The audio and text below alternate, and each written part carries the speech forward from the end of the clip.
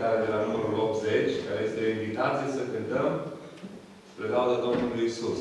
Pentru că, datorită Lui sau Lui se cuvine, uh, îi se cuvin meritele, a Lui sunt meritele și Lui se cuvine lauda și mulțumirea pentru tot ceea ce suntem astăzi și este bine că suntem. Adică că suntem copiii Domnului și e bine că suntem copiii Domnului, că avem viață prin Domnul, este bine, că avem păcatele iertate și este bine, că avem viață biologică și ne bucurăm de ea și este bine și avem libertate și ne putem închina în locul acesta. Haideți să cântăm cu bucurie această cântare. Când